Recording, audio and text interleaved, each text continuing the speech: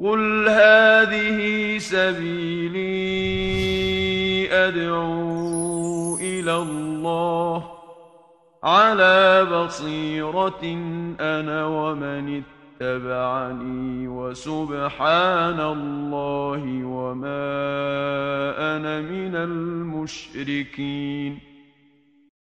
إن الحمد لله تعالى نحمده ونعوذ بالله تعالى من شرور أنفسنا ومن سيئات أعمالنا.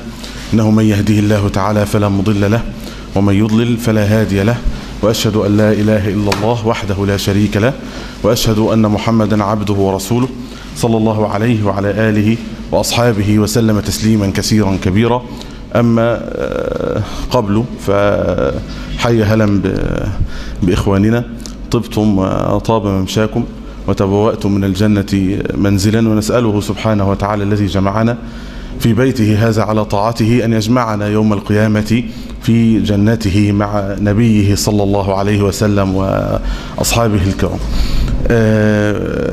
بداية أبشركم ببشرى النبي صلى الله عليه وسلم. اجتمع قوم في بيت من بيوت الله يتلون كتاب الله ويتدارسونه فيما بينهم. إلا نزلت عليهم السكينة وغشيتهم الرحمة وحفتهم الملائكة وذكرهم الله تعالى في من عنده. وأنا أعرف أن هذا الحديث مطروق. جلنا يحفظه وهو ما زال غر صغير. لكن أنا أريدك أن يعني تستطعمه الآن.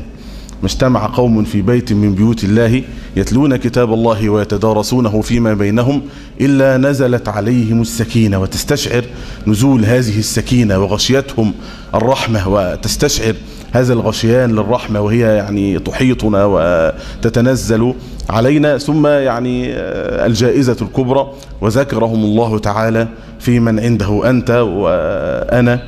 ونحن يعني عباد يعني أذلاء بين يدي الله سبحانه وتعالى. أنت تعرف قدر نفسك وكلنا يعرف قدر نفسه. ثم الله عز وجل لأجل هذا المجلس يعني إن صحت النوايا يذكرنا سبحانه وتعالى في من عنده وحسبك بهذا شرفا. ثم أبشرك أيضا بحديث النبي صلى الله عليه وسلم من غدا إلى المسجد لعلم يتعلمه أو يعلمه فهو كمثل حاج. تامة حجته. أنا أذكرك بهذا حتى يطيب لك الجلوس. وحتى تأخذ عليه أجرا.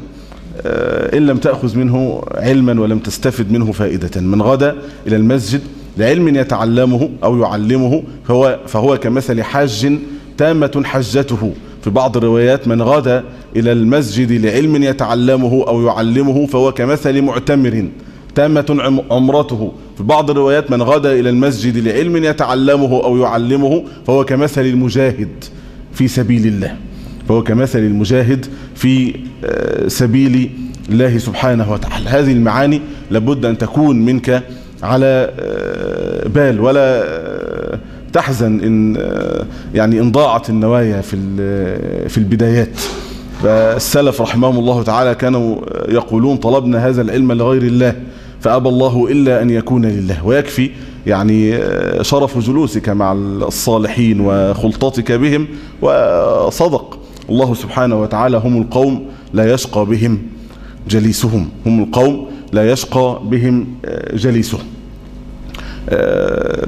أنا أحب أن تكون يعني ألا أدخل في صلب الموضوع مباشرة. إحنا إن شاء الله سنكمل مع بعض. بإذن الله سبحانه وتعالى الوسطية. وسنتطرق للكلام لهذا لكن في الشك أننا نحتاج إلى بعض الشحذ وبعض الشحن يعني إن صح التعبير. لابد أن تتذكر وأنت هنا في كل خطوة تخطوها وفي كل يعني فعلة تفعلها وفي كل قربة يعني في طلب العلم تتقرب بها لربك سبحانه وتعالى أن النبي صلى الله عليه وسلم قال من يرد الله به خيرا يفقهه في الدين. هذا الحديث له منطوق ومفهوم. أما منطوقه فواضح من يرد الله به خيرا يفقهه. طب مفهومه؟ ما لم يفقه في الدين لم يرد الله عز وجل به خيرا. وهذا الحديث له رواية سندها ضعيف عند أبي يعلى كما ذكر الحافظ ابن حجر رحمه الله تعالى. قال من يرد الله به خيرا يفقهه في الدين ومن لم يفقه في الدين لم يبال الله به. ويكفيك من هذا شرفا قول النبي صلى الله عليه وسلم من سلك طريقا يلتمس فيه علما سهل الله له به طريقا إلى الجنة. أنت على هذا الطريق يعني إن دمت عليه فأنت على طريق الجنة. لا شك في هذا. من سلك طريقا يلتمس فيه علما سهل الله له به طريقا إلى الجنة وإن الملائكة لتضع أجنحتها لطالب العلم رضا بما يصنع وإن العالم لا يستغفر له من في السماوات ومن في الأرض حتى الحيتان في الماء. وهذا من أعجب العجب. أن ترى أن العالم يستغفر له من في السماوات ومن في الأرض حتى الحيتان في الماء لكن لا شك أن الجزاء من جنس العلم العمل. هؤلاء أقوام قد شغلوا أنفسهم بالله سبحانه وتعالى وبدينه وبمراضيه وما يحبه وما يكرهه سبحانه وتعالى فأشغل الله عز وجل بهم الكون. من في السماوات ومن في الأرض حتى الحيتان. الأسماك في الماء لا يستغفرون على لمعلم الناس الخير قال وفضل العالم على العابد كفضلي على أدناكم وإن الأنبياء لم يورثوا دينارا ولا درهما وإنما ورثوا العلم فمن أخذه أخذ بحظ وافر من أخذه أخذ بحظ وافر لا شك أخوانا أن الناس حاجتهم إلى العلم هي أعظم من حاجتهم إلى الطعام والشراب. أنت تحتاج إلى العلم في كل نفس. أنت لا تستطيع أن تصلي إلا بعلم ولا تستطيع أن تزكي إلا بعلم ولا تستطيع أن تصوم إلا بعلم ولا تستطيع أن تحج إلا بعلم لا تستطيع أن تبيع ولا أن تشتري إلا بعلم لا تستطيع أن تتزوج ولا أن يعني تفارق إلا يعني بعلم. العلم شرط. هذا كانت قولة السلف المشهورة حيثما حللت فكن جنب فقيه. منين ما تروح ومنين ما تسكن اسكن فين؟ جنب فقيه. لما تتزنق تلاقي ستجد من يفتيك. بعض أهل العلم يعني كما كان الإمام النووي رحمه الله تعالى يقول لا يحل لأحد المقام في قرية ليس بها مفت. هذا كلام النووي رحمه الله تعالى. ثم قال وترخص بعضهم وقال يجوز إن كان بينه وبينه دون مسافة القصر. لو بينك وبينه مسافة أقل من مسافة القصر يبقى في الحالة دي ينفع تعيش في هذه البلد. المسافة أطول من مسافة القصر لا لابد أن تبحث عن بلد فيها فقيه يفتيك. أنت إذا تأملت هذا الكلام ستستشعر يعني عظم البلوى التي نعيش فيها ولا حول ولا قوة إلا بالله. إذا قيل حيثما حللت فكن جنب فقيه فالمقصود الفقيه الذي هو الفقيه في الحقيقة الذي يعني عند الملمات تجده أبصر الناس بالواقع وحقيقته وحق الله عز وجل فيه والواجب لله عز وجل فيه. لا كمن ذكره بعض أهل العلم في كتبه قال أن امرأة, امرأة أتت رجلا. وهذا الرجل كان يعني يعني يذكر بعلم لكنه في الحقيقة لم يكن عالما. وقالت له يا فلان إن الدجاجة سقطت في البئر. الدجاجة سقطت في البئر. فهل يجوز لي أن أتوضأ بماء هذا البئر؟ لزاو زيك بقى ما يعني ما يعرفش حاجة يقول لها إيه. قال لها كده لها زي ما إحنا بنقول ويحك لماذا سقطت؟ وكيف سقطت؟ هل احترزتي هل لا اخذتي حذرك؟ يعني مش تاخدي بالك سيبيها تقع عليه بس. وهكذا انتهى. ثم ذهبت إلى فقيه فقال لها إن تغير الماء بميتة الدجاجة فلا يجوز الوضوء به وإن لم يتغير فهو طاهر أو هو طهور باق على أصله. هذه الفتوى في الحقيقة التي أخرجت المرأة من المشكلة التي هي فيها من أشهر من يذكر عنه ذلك مفتي الخنفشار المشهور وأنتم تعرفون قصة مفتي الخنفشار لهذا بلغ إخواننا من اهتمام السلف بالعلم يعني بلغ الاهتمام عندهم بالعلم مبلغا عظيما. الحقيقة أن المجتمع كله كان مشغولا بالعلم كان مشغولا بالعلماء. أنت تستطيع إذا استقرأت كتب السير أن ترى هذا واضحا جليا. لما تجد أن الإمام الذهبي رحمه الله تعالى يقول في السير اشتهر مختصر المزني. بين الناس. المزني كان أحد أصحاب الشافعي. له مختصر في فقه الشافعية سمي باسمه مختصر المزني. قال مختصر المزني انتشر في الناس واشتهر حتى قيل لابد للبكر أن يكون في جهازها نسخة من مختصر المزني. يعني ما ينفعش واحدة يعني تتزوج بغير نسخة. من مختصر الإمام المزني رحمه الله تعالى. هذا يريك اهتمام المجتمع بالعلم. إحنا نحن الآن يقول لابد للبكر أن يكون في زواجها. أنتوا عارفين بقى أنت تستطيع أن تعد ما في القائمة الذي التي تعرفها. لكن السلف ما كانش عندهم هذه الأمور. لابد للبكر أن يكون في جهازها نسخة من مختصر المزني. الإمام مما يظهر لك أيضا اهتمام السلف بالعلم واقعة حدثت في في الشام. مات إمام مسجد دمشق فاحتاج الناس إلى إمام. عاوزين إمام يؤم الناس في مسجد دمشق. فمسجد دمشق دمشق حاضرة الخلافة. ففكر الناس فسمعوا بإمام في قرية تسمى دارية ولعلكم تسمعون دارية. هذه في الأخبار كثيرا هذه الأيام في سوريا. إمام بلدة تسمى دارية كان اسمه الحسن بن داود. فخرج أهل دمشق عن بكرة أبيهم إلى دارية هذه يطلبون من عاوزين الحسن بن داود حتى يؤمهم. فخرج أهل دارية إليهم بالسلاح.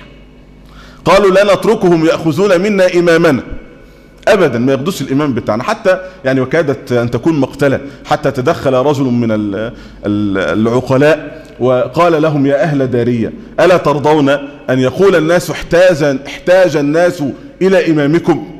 يكفيكم هذا فخر فخرا أن يقال يعني في الكتب ويذكر في التاريخ أن أهل دمشق احتاجوا إلى إمامكم. فقالوا قد رضينا. وانتهت المقتلة يعني بان حازوا هذا بان حازوا هذا الشرف مما يدلك أيضا على اهتمام المجتمع يعني بالعلم في هذه الأزمان المباركة. قصة بقي بن مخلد الأندلسي رحمه الله تعالى مع الإمام أحمد رحمه الله تعالى. بقي مشهور من قصته أنه جاء إلى أحمد رحمه الله تعالى من الأندلس وجاء ماشيا. فلما اقترب من بغداد تسامع و أو وصل إليه نبأ محنة الإمام أحمد رحمه الله تعالى وأنه مبتلى وأنه ممنوع من من التدريس والتحديث. فاغتم لذلك غما شديدا لكنه لم ييأس. سأل عن منزل الإمام أحمد رحمه الله تعالى وطرق عليه ففتح أحمد وقال له جئتك أطلب الحديث. قال إنك تعرف ما بي وتعرف أني مبتلى. قال إن رأيت أن آتيك في كل يوم في زي السؤال يعني الشحاذين فأقول كما يقول السؤال الأجر. رحمكم الله فتخرج إلي وأجلس على عتبة بابك فتحدثني. فرضي أحمد رحمه الله تعالى. هذا الموقف وكان فعلا فعل ذلك بقي. هذا الموقف يعني آآ آآ حفل به أحمد رحمه الله تعالى وشكره له شكر له حرصه واهتمامه حتى زالت المحنة وصعد نجم أحمد رحمه الله تعالى واستحق لقب إمام أهل السنة بلا منازع وكان بقي مازال يحضر لأحمد رحمه الله تعالى. كان أحمد رحمه الله تعالى يشير إلى بقي ويقول يعني هذا هو طالب العلم أنه يعرف حرص بقي. ليس هذا هو الشاهد. الشاهد أنه في يوم من الأيام مرض بقي. رحمه الله تعالى. فقال بقي كنت يعني كان يعيش في فندق. فندق يعني دار مستأجرة قريبة من المعنى الذي نعرفه الآن. في الدور الثاني. قال بينما أنا نائم على فراش رجل مريض إذ رأيت الدار تهتز وترتج بأهلها. لا البيت بي بيتهز. وإذا بالناس يتكلمون أنا عاوزك بس تستشعر معي معاني الاهتمام بالعلماء. وإذا بالناس يعني يتحدثون ويقولون هو ذاك أبصروه. هذا إمام المسلمين مقبل. هو يسمع الناس يتحدثون في الشارع بيقول أهو جاي هناك أهو. هذا إمام المسلمين مقبل. فإذا هو أحمد رحمه الله تعالى وإذا بصاحب الفندق يأتي بقي ويقول يا بقي أبشر بخير يوم. هذا إمام المسلمين قد أتاك عائدا. أحمد جاي يزورك. هذه مفخرة. ما بعدها مفخرة. فدخل الإمام أحمد رحمه الله تعالى وهذا لسه يعني الاهتمام مازال يعني ستراه في بقية ال ال الرواية. دخل أحمد كما يقول بقي رحمه الله تعالى ومعه تلاميذه. معهم المحابر والدفاتر. أحمد راح فين بقى؟ يزور مريض. ومعهم إيه؟ المحابر والدفاع. والألم ومع أهل الكراس ينتظرون ما الذي سيقوله أحمد. رحمه الله تعالى. جلس الإمام رحمه الله تعالى عند رأس بقي وقال يا بقي أبشر بثواب الله. أيام الصحة لا سقم فيها وأيام السقم لا صحة فيها. أعلاك الله ثوب العافية ومسح عنك بيمينه الشافية. قال بقي فأبصرت فإذا الأقلام تكتب لفظه. ناس عمالة إيه؟ تكتب اللي بيقوله الإمام أحمد. حتى الدعاء الذي دعاه للمريض يكتبونه. هذا يدلك على اهتمام يعني هؤلاء بال- بالعلم. بقي رحمه الله تعالى يقول فهو عاش بقى أحسن أيام وأفضل أيام حياته بعد أن كان رجل غريب. فإذا به يعني يقول رحمه الله تعالى جاءني أهل الفندق هذا بطعام وهذا بفراش وهذا بشراب كل ذلك كل ذلك قال كده كل ذلك لأجل عيادة الرجل الصالح لي. رحمه الله تعالى. هذا يدلك على اهتمام العلماء. الإمام آه، رزق الله التميمي أحد أئمة ال- ال- الحديث المشاهير يحكي الحافظ السلفي آه، رحمه الله تعالى يقول السلفي ليست السلفي هو السلفي. آه، يقول السلفي شاهدت دخول رزق الله التميمي إلى أصبهان. رزق الله التميمي زار أصبهان في يوم من الأيام. قال كان يوما كالعيد بل أبلغ في المزيد. هذا مختصر وصفه. قال كان يوما إيه؟ كالعيد. ده بس إن العالم يدخل بلدة هذا يوم كالعيد. قال بل أبلغ في. هو أعظم من يوم يعني عيد في احتفاء الناس واحتفالهم بدخول هذا الشيخ إلى آه، بلادهم. آه، مما يدلك أيضا على اهتمام المجتمع بالعلم وإن كان يعني في هذا الذي سنحكيه الآن غلو. قد يرقى ال- الابتداع أحيانا لكن يدلك على شأن هؤلاء العلماء في مجتمعاتهم. الإمام الجويني رحمه الله تعالى لما مات آه، كسر تلاميذه المنبر حتى لا يصعد عليه أحد بعده. هذا طبعا فيه غلو وليس هذا من السنة لكن هذا يشعرك بأهمية وجود هذا الإمام بين يعني أظهرهم وكيف كانوا يحترمونه وكيف كانوا يقدرونه وكيف كانوا يعني يصدرون عن آه، رأيه ويأخذون من علمه يعني من أبلغ ما يدل أيضا على اهتمام المجتمع بال- بالعلم والعلماء الإمام البربهاري رحمه الله تعالى قوام السنة. الإمام البربهاري رحمه الله تعالى كان يعني من أئمة السنة الكبار آه، وهو أحد المصنفين في السنة وال- والعقيدة. سنة آه، 323 للهجرة ازدادت شهرة ال- الإمام جدا وازدادت حشمته واجتمع عليه الناس بطريقة يعني آه، لا تسبق. حتى كان أصحابه يعلنون النكير على الناس في البدع والمخالفات وأمثال هذه الأمور. في يوم من الأيام عبر الإمام البربهاري النهر نهر دجلة. إلى ال- الجهة المقابلة. آه، لما عبر النهر آه، عطس. عطس. فشمته الناس. خرج الخليفة من شرفة بيته وهو حس إن في مظاهرة ولا حاجة. يعني وقال ما هذا؟ قالوا له عطس البربهاري. البربهاري عطس فالناس يشمتونه. وكأن الأصوات ضجت يعني لأن الرجل كان حوله التلاميذ وحوله آه، طلبته. حقيقة أخواننا إذا كان هذا يعني اهتمام المجتمع آه، فيما سبق بال- بالعلماء فلابد أن يعلم أن طلب العلم ليس دعوة تدعى وليس كلمة تقال. آه، السلف رحمهم الله تعالى كانوا يعرفون أن علوم الإسلام لم تدون على ضفاف الأنهار ولا تحت ظلال الأشجار. آه، بذلوا من أرواحهم وبذلوا من يعني دمائهم أحيانا منهم من مات في سبيل هذا.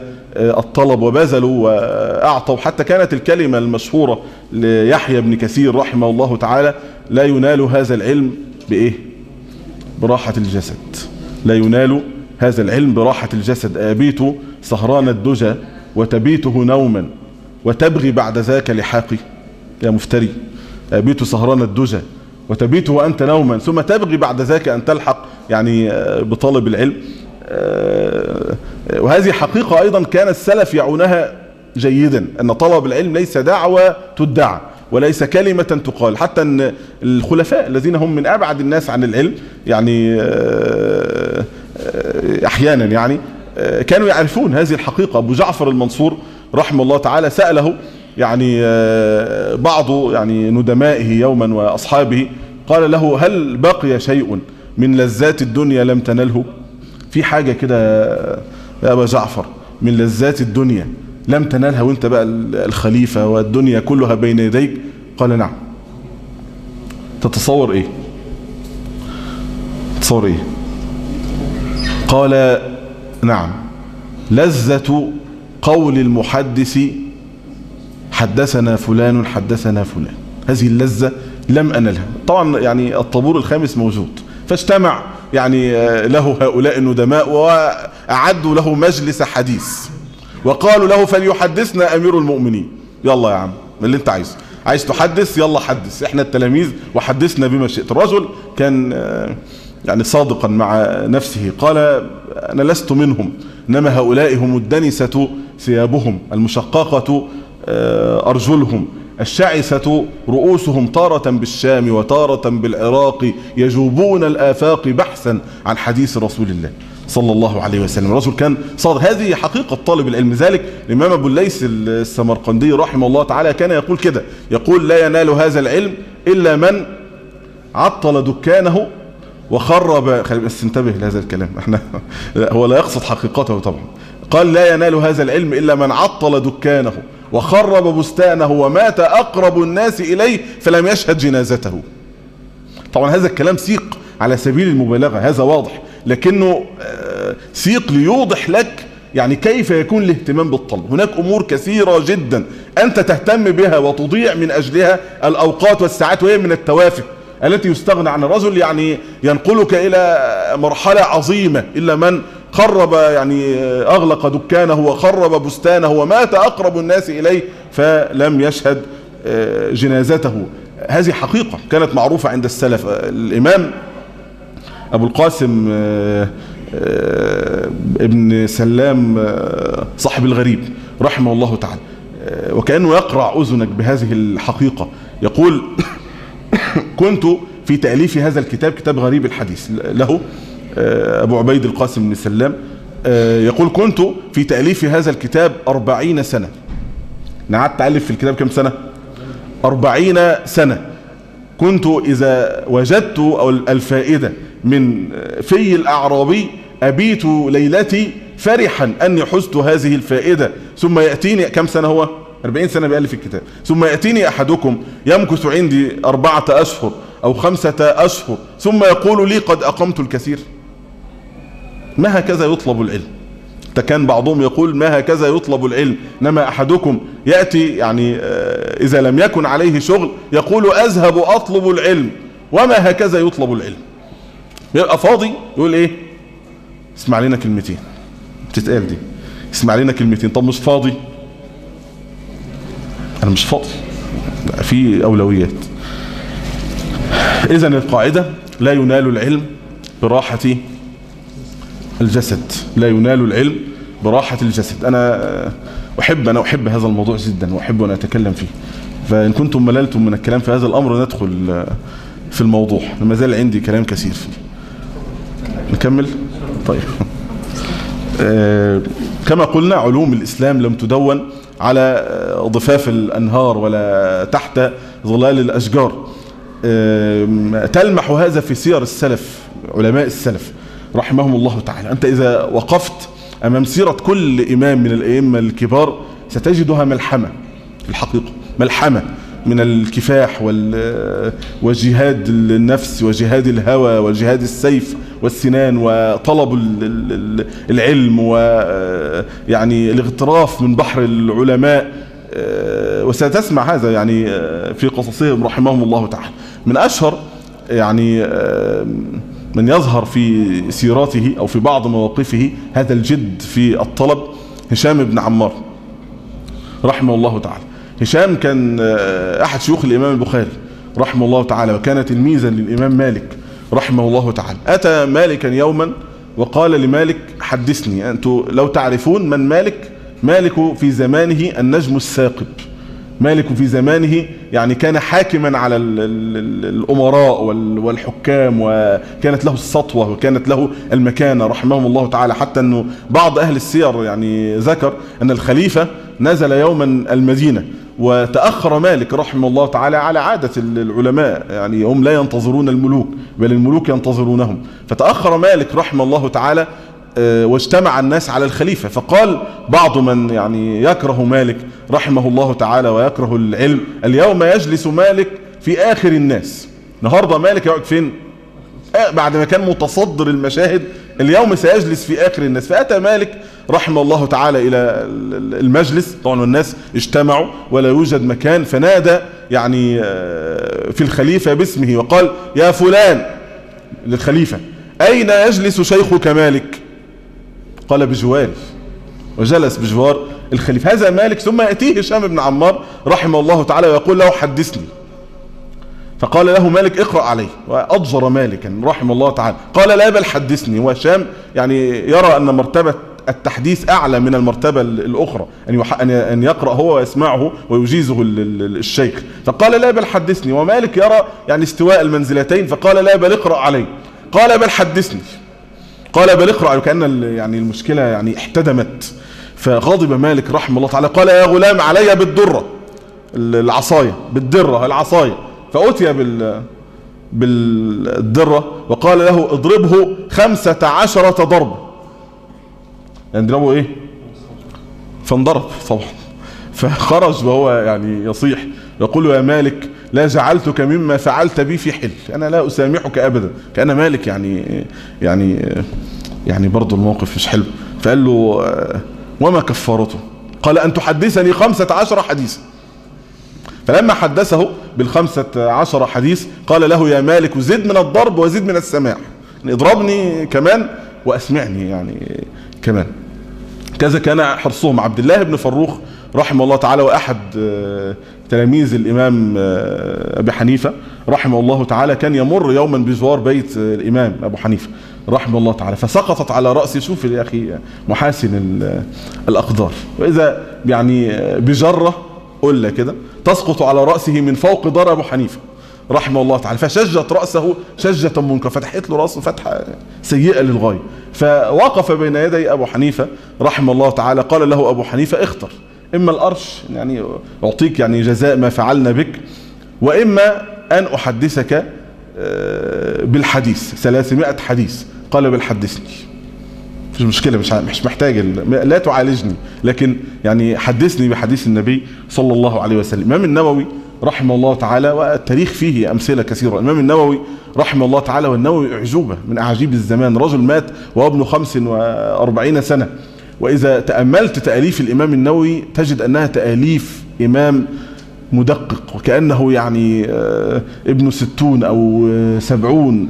يعني حفظ الله عز وجل له عقله مع غزارة علمه وسعة اطلاعه فكتب. لكن العجب أنه ابن 45 سنة كان كانت وفاته رحمه الله تعالى. ثم تجد له من التأليف شرح مسلم المنهاج شرح صحيح مسلم الحجاج في ثمانية عشر مجلدا روضة الطالبين في أكثر من عشرة مجلدات. المجموع له فيه يعني في الطبعة المشهورة حوالي تسعة مجلدات. وتهذيب الأسماء واللغات ثم الكتب المشهورة التي كتب الله عز وجل لها القبول رياض الصالحين والأذكار كتب كثيرة جدا ألفها هذا الإمام وغيرها من المخطوط ومما لم نسمع به ولم نجده كثير ثم يموت وابن 45 سنة. أنت لابد أن تسأل نفسك هنا كيف وصل؟ إذا كان ابن 45 سنة كيف وصل إلى هذا العلم؟ هو يجيبك رحمه الله تعالى. يقول مكثت سنتين لم أضع جنبي على الأرض. بس هو ده السبب قال ومكثت سنتين لم أضع جنبي على الأرض. كنت إذا أريت أردت أن أنام اتكأت وضعت بعض كتبي فاتكأت عليه. بس يغفو إغفاء ثم يقوم ويكمل يعني طلبه للعلم. حافظ السلفي الذي كنا نتكلم عنه الآن وهو إمام يعني كبير محدث مشهور وقد سكن الأسكندرية. وسكن الأسكندرية في زمان كانت فيه منارة الأسكندرية أعجوبة من أعاجيب الزمان. يقول الرواة أنه بقي 65 سنة. 65 سنة. مجاورا لمنارة الأسكندرية قال لم أرها إلا من شرفة غرفتي. يعني ما كلفش نفسه ينزل ويرى هذه المنارة التي يتحدث بها الناس ويتحدث بها العالم وهي أعجوبة من أعاجيب الزمان حين كانت موجودة يعني. لم يكلف لا ليس عنده وقت لهذه الأمور. إنما كان يراها من شباك غرفته بس ولا يفعل أكثر من من هذا. أحد الأئمة المشاهير هتكلم عن حرص السلف على العلم أحد الأئمة المشاهير محدثين الكبار من الأسماء التي ليست مطروقة كان اسمه الإمام الباغندي. الإمام الباغندي يقول حبب إلي طلب الحديث. حبب إلي طلب الحديث. حتى أني رأيت رسول الله صلى الله عليه وسلم في المنام فلم أقل له في المنام يعني لم أقل له يا رسول الله ادعو لي.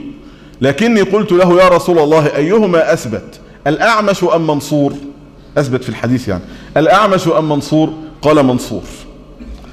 على حسب يعني كلامه رحمه الله تعالى. آه الإمام أبو يوسف رحمه الله تعالى أحد أصحاب الإمام أبو حنيفة رحمه الله تعالى وهو علم من الأعلام الكبار.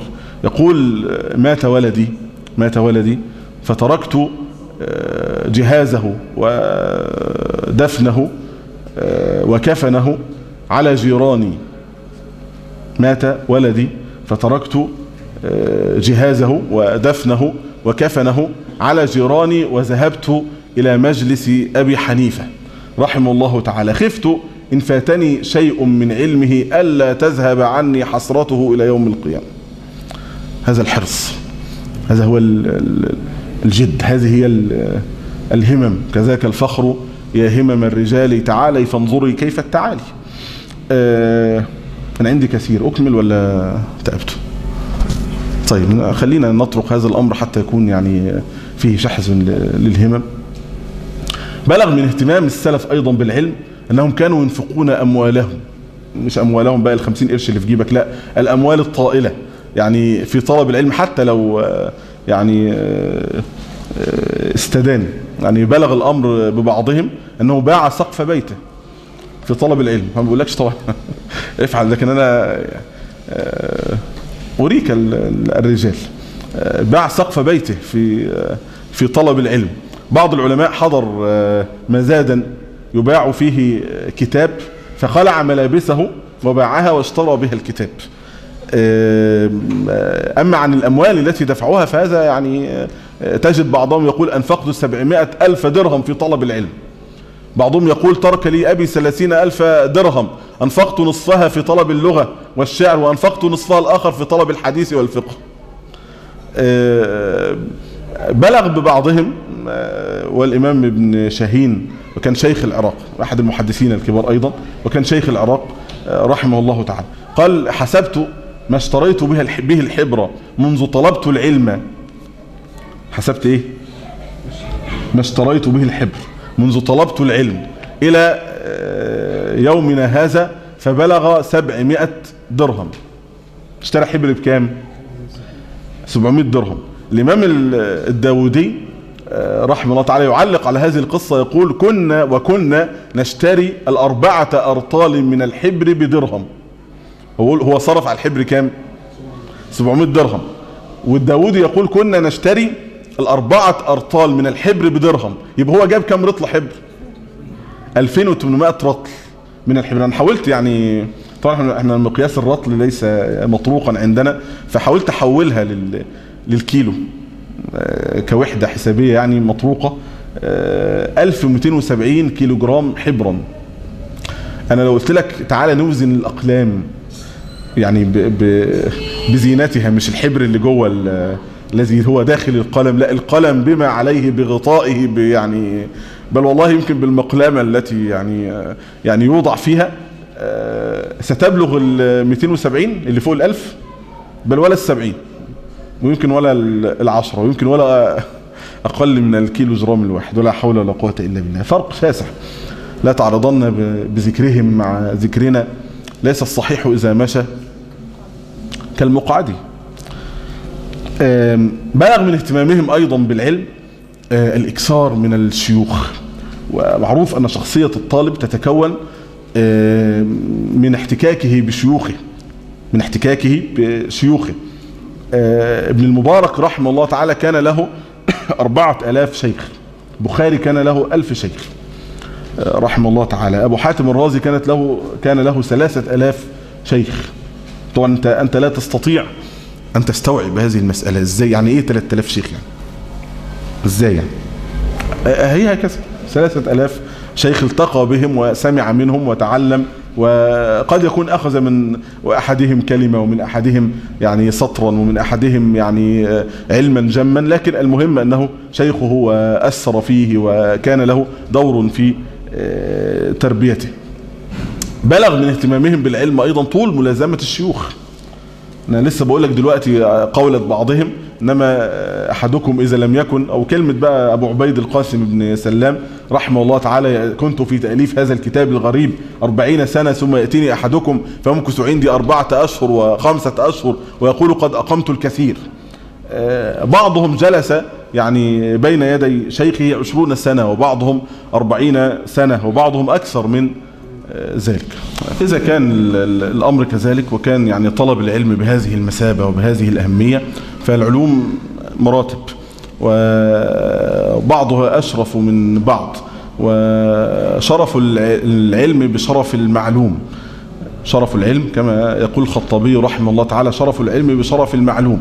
إذا كان شرف العلم بشرف المعلوم فلا بد أنه سيكون أعظم العلوم شرفا وأعلاها قدرا وأسناها منقبة ويعني أغزرها يعني فائدة والعلم الذي فيه النجاة الحقيقية في الآخرة وفيه الرفعة والتمكين في الدنيا هو العلم بالله سبحانه وتعالى. علم العقيدة من أشرف العلوم. والزب عن دين الله سبحانه وتعالى هي منزلة من أشرف المنازل ومن أعلى المنازل. لا شك في هذا النبي صلى الله عليه وسلم كما عند البخاري من حديث ابن عباس رضي الله تعالى عنه لما أرسل معاذا إلى أهل اليمن قال ليكن أول ما تدعوهم إليه أن يوحدوا الله. بعض الروايات أن يعرفوا الله بعض الروايات شهادة أن لا إله إلا الله وأني رسول الله. فإذا عرفوا ذلك صلى الله عليه وسلم فإذا عرفوا ذلك فأخبرهم أن الله قد فرض عليهم خمس صلوات في كل يوم وليلة. فإذا صلوا فأخبرهم أن الله فرض عليهم زكاة تؤخذ من أغنيائهم فترد على فقرائهم وإياك ودعوة المظلوم فإنه ليس بينها وبين يعني الله حجاب.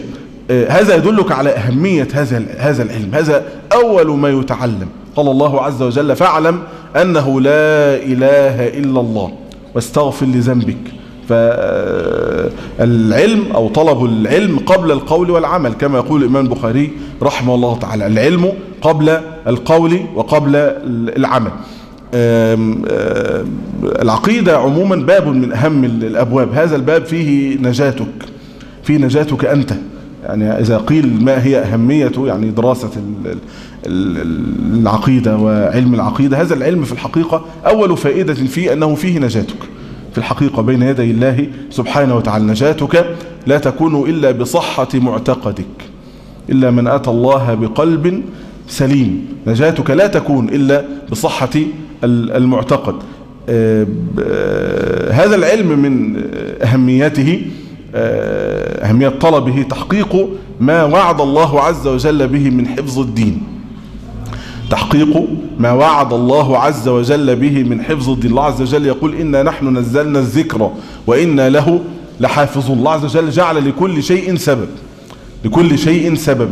ليس فقط نزلنا الذكر وإن له لحافظون وليس هناك أسباب. لابد أن يكون هناك أسباب. من أهم أسباب حفظ الدين وحفظ العقيدة وجود يعني العلماء ووجود طلبة العلم والدعاء إلى الله سبحانه وتعالى الذين يعني يدافعون عن دين الله سبحانه وتعالى ويبينون يعني ما وقع فيه من انتحال المبطلين وتأويل الجاهلين وتحريف الغالين. كما قال النبي صلى الله عليه وسلم يحمل هذا العلم من كل خلف عدوله. ينفون عنه تحريف الغالين وانتحال المبطلين. حديث صحابة الشيخ الألباني رحمه الله تعالى. يحمل هذا العلم من كل خلف عدوله الإمام أحمد رحمه الله تعالى في مقدمة كتابه في الرد على الجهمية وكأنه استقرأ هذا المعنى. في مقدمة كتابه هذا كان يقول الحمد لله الذي جعل في كل زمان فترة من الرسل جمعا من أهل العلم بقايا يدعون من ضل إلى الهدى واصبرون منهم على الأذى. فكم من قتيل لإبليس قد أحيوه وكم من ضال قد هدوه ينفون عن كتاب الله تحريف الغالين وانتحال المبطلين وتأويل الجاهلين الذين عقدوا ألوية البدعة وأطلقوا عنان الفتنة فهم مختلفون في الكتاب مخالفون للكتاب مجمعون على مخالفة الكتاب. كأنه رحمة الله تعالى استقرأ هذا المعنى هذا هو دور العالم في الحقيقة أن يذب عن دين الله سبحانه وتعالى. هذا ال ال يعني العلم نوع من أنواع الجهاد.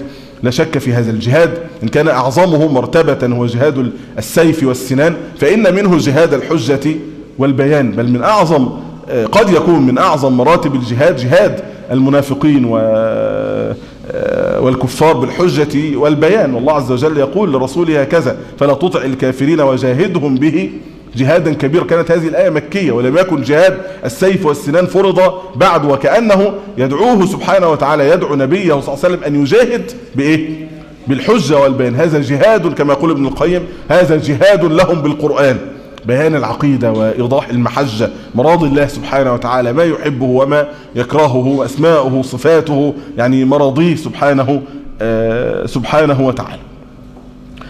من أهم يعني آه ما يدرس له هذا الباب أيضا إظهار الحق وبيانه في هذا الباب. نحن ما زلنا في زمان يعني يتكلم فيه على التأويل وعلى عقائد الفرق المخالفة من الأشاعرة والمعتزلة والمعتزلة وغيرهم. وهذه أمور لم تندثر لم تندثر في الحقيقة ولم تمت ولها روادها ولها يعني طلابها ولها المنافحين. عنها والله عز وجل يقول وإذ أخذ الله ميثاق الذين أوتوا الكتاب لتبيننه للناس ولا تكتمونه اللام هنا يعني للأمر لا تبين لابد أن يعني تبينوه ولا ولا تكتمونه.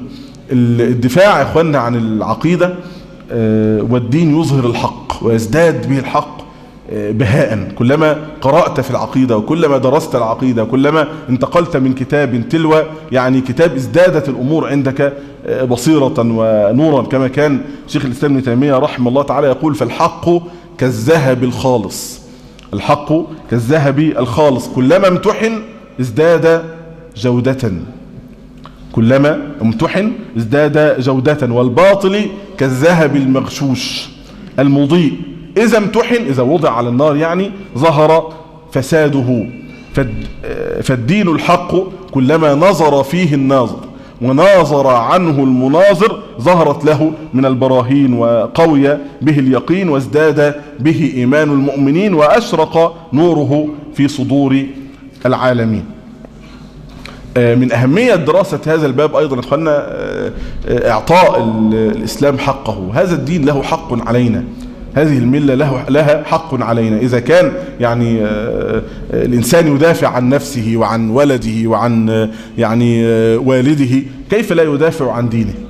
كيف لا يدافع عن أعظم يعني أماكن الدفاع عن دين الله سبحانه وتعالى؟ هذا هذا الباب. حتى كان شيخ الإسلام ابن تيمية رحمه الله تعالى يقول الراد على أهل البدع مجاهد.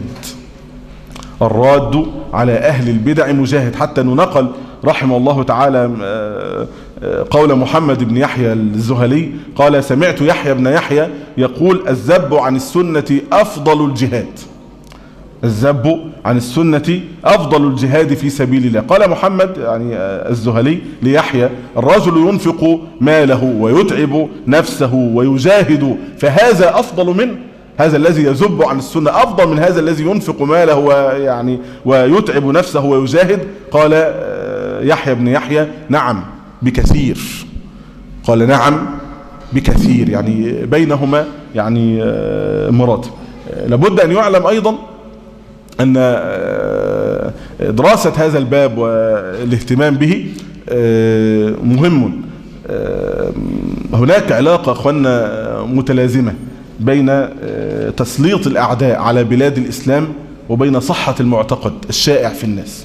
هذه علاقة متلازمة بين الأمران بين صحة المعتقد وبين تسليط الأعداء على بلاد الإسلام. حتى قال شيخ الإسلام ابن تيمية رحمه الله تعالى أنه إذا ظهرت البدع التي تخالف دين الرسل انتقم الله عز وجل ممن خالف الرسل. طيب إحنا نكتفي بهذا. إن شاء الله المرة القادمة ندخل في في الوسطية. جزاكم الله خير.